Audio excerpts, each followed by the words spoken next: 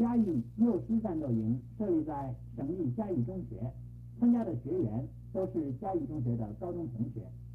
他们训练的项目除了一般娱乐活动的共同科目以外，其他主要的训练项目以军事教育为主，其中包括徒手跟持枪基本教练，以及阅兵式、分列式等的训练。参加战斗营的学员们个个精神饱满，所以他们两天以来已经学习了不少军事基本动作。